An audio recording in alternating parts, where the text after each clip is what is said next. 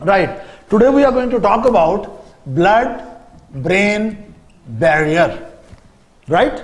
Now what is blood brain barrier? It's not something like a physical barrier as they are in the road and you cannot pass through. Uh, blood brain barrier is a basically concept which was originally originated uh, in 19 about 1882 by experiments of a doctor Paul Ehrlich. Now, what did he do? Actually, he took live animals, thank God animals, right? But even animal rights people will not be happy about it. But what did he really do? He took the live animals, let's suppose here happens to be an animal, right? And and let's suppose here is the central nervous system of the animal, right? What did he do? That he injected special type of dyes, right? In their vascular system, right? Vital dyes, vital dye, to be very exact, uh, trypan blue, trypan blue. And this molecule of trypan blue now we know that basically it binds with the albumin or with the plasma proteins. Now dr paul ehrlich he injected the live animals the living animals with vital dyes right in their circulatory system. And then he tried to study that which organs of the animal are colored by the dye this was a blue color which organs of the animal turned blue. What he really found that this injection of the blue dye, right, trypan blue, uh, it colored almost everything in the body except central nervous system. All the tissues turned blue, right, and this blue dye approached all the tissues in the body, but it failed to enter into central nervous system. So he thought that there must be some sort of barrier between circulatory system and the central nervous system, right? And this was the origin of the concept of blood brain barrier. This was a very primitive concept, very initial concept. That what is blood brain barrier? That Paul Ehrlich injected basically dyes in the vascular system of the living animals. And then as these dyes were uh, protein binding dye and then he studied the distribution of the color in different tissues. And what did he find? That this blue dye was present in all the tissues almost all tissues but failed to enter failed to enter into central nervous system then he thought that it means there is some barrier between the blood and the brain and of course blood and the spinal cord also and later on we discovered similar barrier is present between not only between blood and brain but also present between blood and blood and spinal cord and also between the blood and peripheral nerves. Even this dye failed to color the internal side of the internal part of the peripheral nerves. So truly now we believe this is not only blood-brain barrier. Even though uh, in common language when doctors discuss they talk only about blood-brain barrier. But actually when we are talking about blood-brain barrier, we are talking about three things. Blood and brain barrier and also it's understood we are talking about blood and spinal cord barrier and similar barrier is present between the blood and peripheral nerves. So blood and nerve barrier. Am I clear? Now the question is this. Okay, Mr. Paul Ehrlich uh, made trouble for us that now we have to study this initial discovery.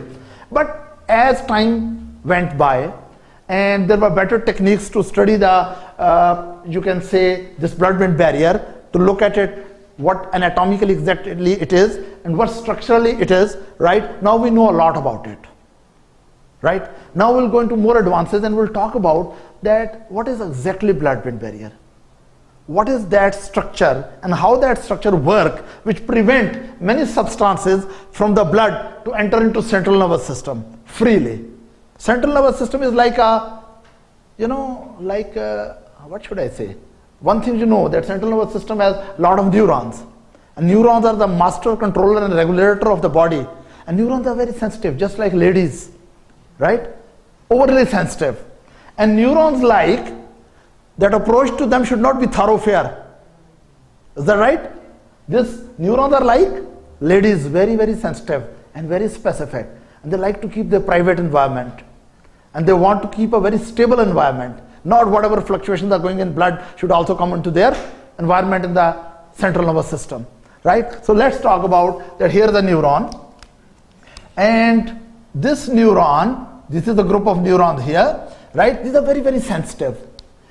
And everything from the blood should not reach there. There must be some barrier. Most of the women believe in barriers, right? Sometimes they put emotional barrier, sometimes they push psychological barrier. In the same way, neurons have put a lot of barriers. We'll talk about that. But why? Why there is barrier? Why should be a barrier?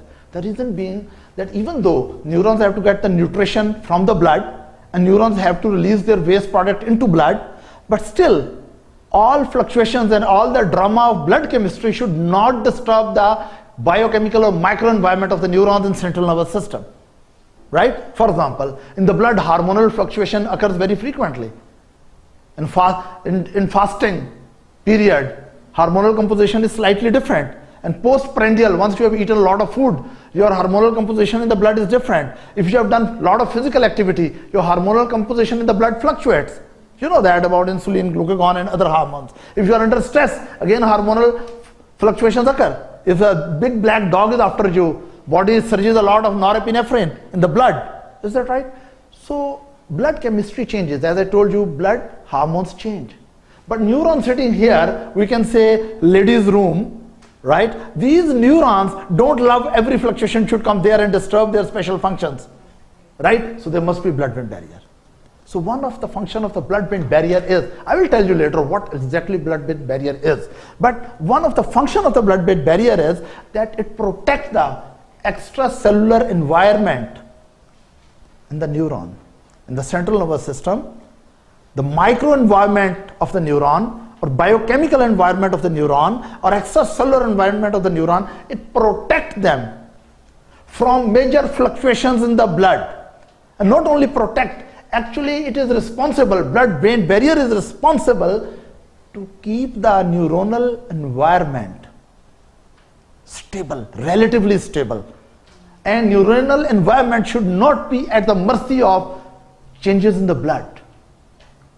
Right? As I told you that if hormones are fluctuating in peripheral circulation, this, this should not reflect in the same degree of fluctuations in central nervous system. Right? If there are metabolites in the blood or glucose level in the blood fluctuate a lot. When you take food, amino acid level in the blood fluctuates a lot in the fasting state and in the fed state. But those fluctuations should not be that much to the central nervous system, maybe to some degree. Then metabolites in the blood with exercise, right? Their amount goes very high and resting period it becomes less. Again, it should not bother the private and discrete world of the neurons. So one of the major function is that it is protecting the central nervous system microenvironment in which the neurons are working, right, to keep them into stable milieu, stable environment and protect central nervous system extracellular environment from the fluctuating hormonal levels, metabolites levels in the peripheral blood and even ionic levels, right? Because neurons love to have very stable level of sodium, calcium, potassium, right? Magnesium, chloride, bicarbonate, protons, and there are relatively more fluctuations in the peripheral circulation. So this is one purpose. So we can say blood-brain barrier act as a what? Stabilizer. it acts as a stabilizer. It stabilizes the it stabilizes the internal environment of central nervous system including brain and spinal cord, right? Then it has one more function. Not only these lady-like neurons love to keep their environment relatively stable and and relatively less fluctuating, they also want to be protected there. You know, ladies need more protection than men usually, even though you, you come across sometimes very dangerous ladies. Another function is protection. Now, central nervous system blood-brain barrier protected from toxins, endogenous toxins or exogenous toxins, right, which are produced in the body, endogenous toxins, or if you have taken parenterally or some toxins, you have taken uh, gastrointestinal system or some other way, right, there must be mechanism to protect the central nervous system from that.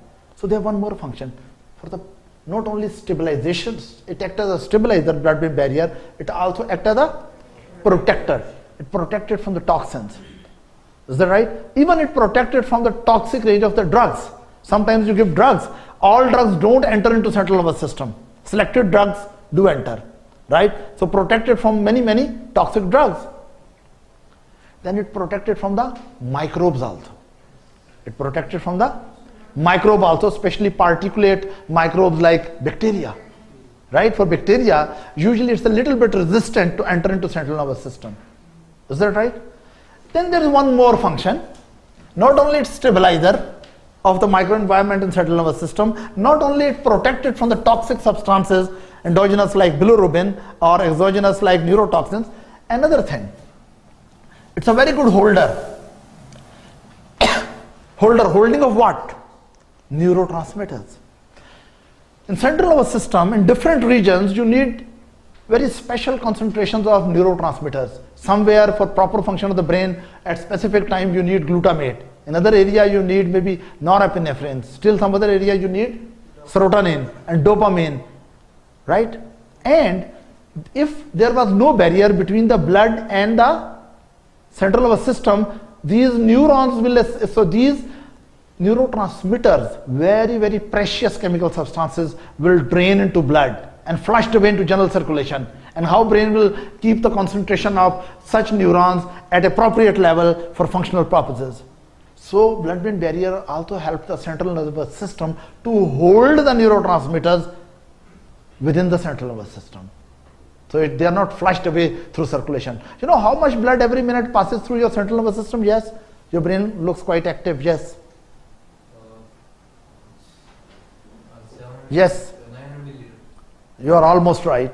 Actually, about 15%, 15% of the cardiac output passes from the central nervous system. You know, cardiac output usually in a resting person, adult, is about 5 liter per minute, right? So you can say about 700 to 800 ml blood. You are almost right. 700 to 8 ml blood, right? And when you are exercising, of course, cardiac output improves. Sometimes during exercise, even more than 1 liter blood passes through the central nervous system per minute. And if there's no barrier, neurotransmitter will be flushed away, washed away. Do you think we will be happy man then? Or happy woman even? No. So what are the functions of blood-brain barrier? I have not yet told you what is blood-brain barrier exactly. I just told you hypothetically there is something which prevents the free movement of certain substances between the peripheral blood and the central nervous system environment. And that something is called blood-brain barrier. We'll discuss exactly what it is. But functions of this blood-brain barrier are very important. It provides a stable micro and molecular environment and biochemical environment to the neurons. It provides protection to the neuron, central nervous system, and it helps the central nervous system to hold the neurotransmitters concentration. Am I clear? But now we see exactly what is blood-brain barrier, right? So we'll go to discuss that. The structural details of the structure of blood-brain barrier.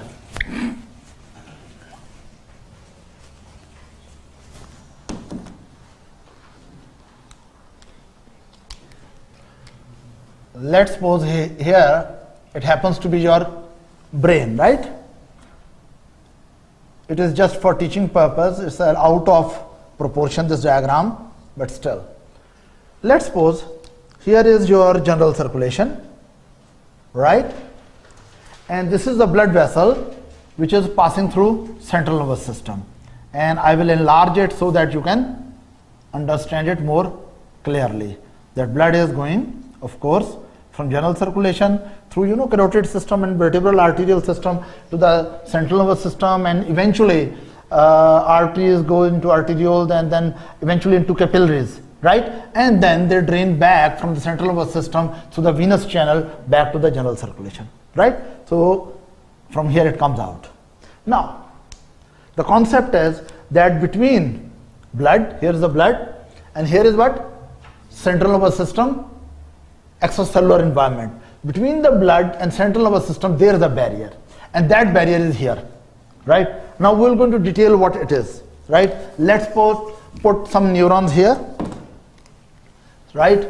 These are the neurons, right? They are doing a lot of talking there, as you know, right?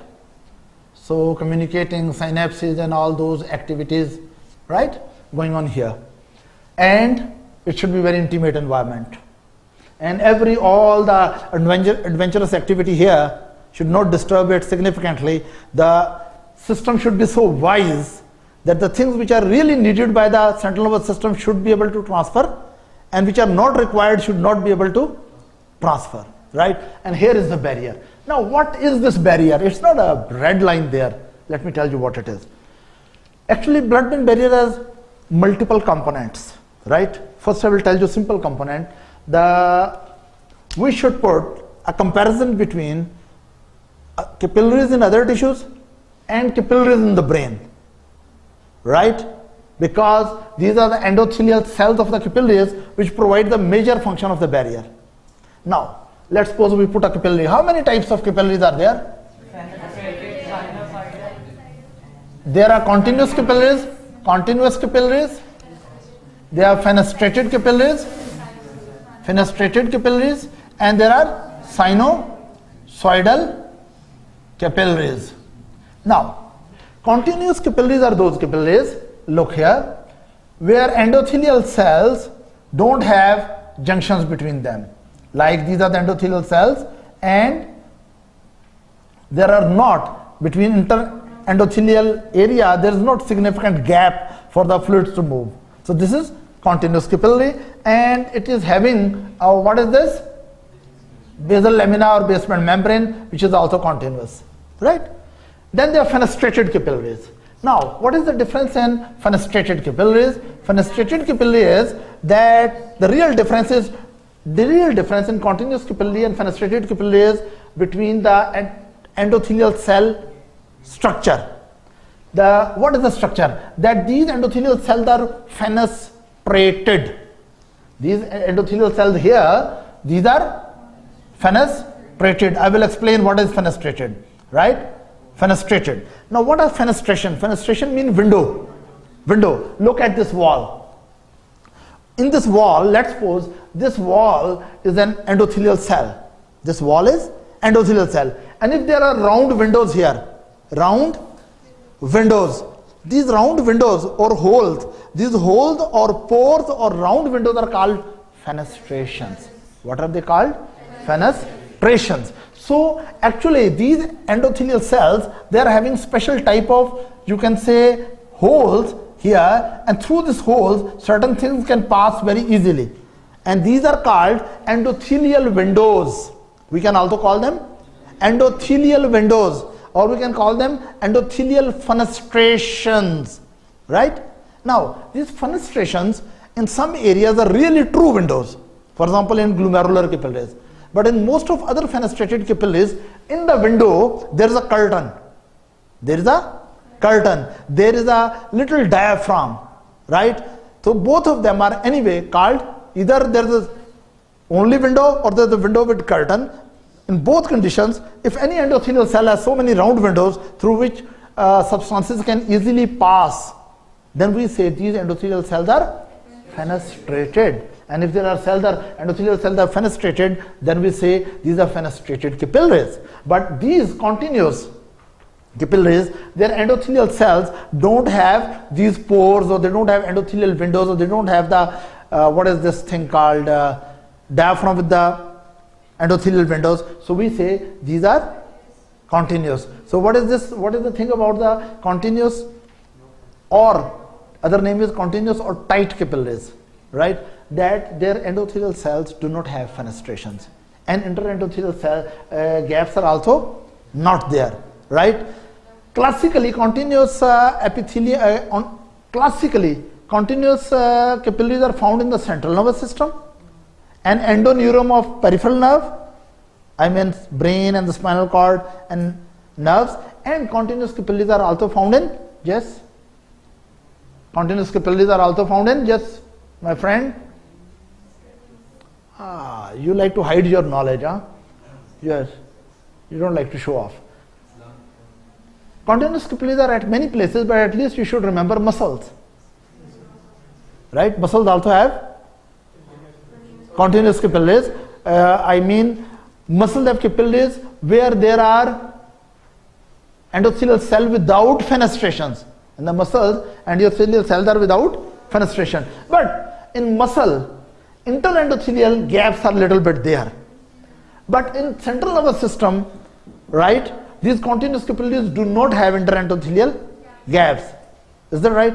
These are fenestrated capillaries, right? Then there are sinusoidal capillaries. Sinusoidal capillaries are where endothelial cells have lot of gaps and somewhere there are really deficient wall of the capillaries, right? Uh, classically we can say it is in present in the liver and the spleen, right? In the liver and the spleen right? And there are some reticuloendothelial cells also there, macrophages and other. But I will not go into detail. What really I wanted to tell you, the body has three types of capillaries. There are continuous capillaries, there are fenestrated capillaries, and there are sinusoidal capillaries. Continuous capillaries have endothelial cells which are not fenestrated. Fenestrated capillaries have endothelial cells with multiple endothelial windows called fenestrated capillaries. And sinusoidal cells are really broken capillaries, right? Now, yes, please, you have a question. The basement membrane is continuous in here it is continuous, here it is a little bit broken, here it is really big uh, in patches, right? Now, we come to the endothelial cells, characteristics of the endothelial cells lining the capillaries of central nervous system, right? Let's come here. Now, if I draw endothelial cell here, this is endothelial cell, right? And this is one more endothelial cell and here is one more endothelial cell. Now, the first thing, these endothelial cells have a very special thing because this is a private area. Women like to be behind the curtains and usually curtains also they like to stitch them more and more. So what happened? There's special stitches here. There's special protein which stitch the, what is this? Interendothelial gaps. These gaps which are between the endothelial cell, actually there are no gap. They are very tightly stitched, right? There are special type of threads. What are those threads? Those threads are basically special proteins called occludins and claudins. Occludins, claudins, and ZO1 and many others. You don't need to remember all of them. But you must remember that endothelial cell which are lining the in central nervous system right these endothelial cells are very tightly stitched with each other and substances are not allowed to freely move in between the endothelial cell. Is that right?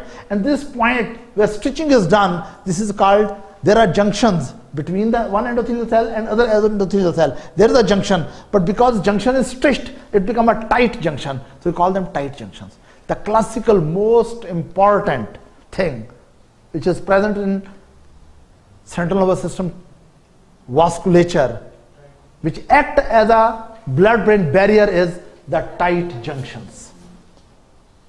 Is that right? This is the main reason why everything from the blood cannot jump into brain. And everything from the brain cannot jump into here right? So what is the site? Number one is tight junctions. So let me now make this capillary little bit larger. That there are tight junctions and I will draw the capillary here. Right this is central nervous system. Capillary. And here is your what is this? Endothelial cell. Here is another endothelial cell. And so on so forth. And here are the stitching done. And what are these stitchings? Tight junctions. And they are made of special proteins. And these proteins are claudins and claudins, occludins and claudins and ZO1 and some other also, right? And that is why at least one route through which usually passage occur is blocked. Now, if I draw here, here I am not making central nervous system protein, uh, I am making another type of Now, in this side, this is another capillary from somewhere else in the body. I'm comparing capillary from other part of the body with the capillaries in the central nervous system. This comparison. Now here, number one, the stitches are not there. If these stitches are not there, then what will happen? Substances will be able to move through this. And if substances can move through this, right, this is called larger molecule or polar molecules. Polar molecules are those molecules which are highly charged, horny molecules, charged molecules, right? Or the molecules which are, you can say water soluble molecule, right? If someone is very charged, dip him into water, right? So what I'm talking about, that these molecules which are larger, which are charged, which are uh, we say water soluble, right? These molecules can easily pass through interendothelial gaps and this is called paracellular route. What is this? Paracellular route of exchange between the vascular system and interstitial fluid. But in central nervous system, this paracellular route is effectively blocked. Is very effectively blocked by tight junctions. This is the first most important thing. If you don't remember anything about blood-brain barrier, just remember one thing. The, the major reason of this barrier between the blood and the brain is what? Tight junctions in endothelial cells lining the cerebral capillaries, the central nervous system capillaries. This is only one, but story doesn't finish here. You know, this is very discrete area.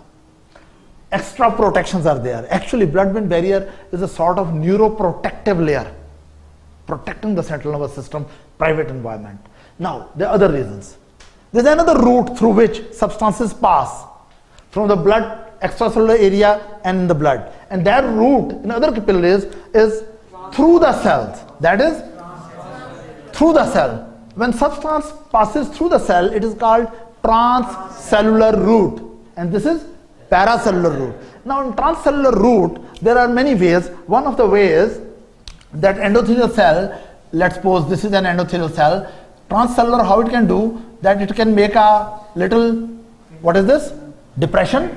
And substance which need to be transferred, that will be taken into this pit. And then this will move a little inward and now substance is in a vesicle, in a vesicle. And then this vesicle may fuse on the other side and this substance will release out. So here it entered, there it went out, but it passed through a vesicular system.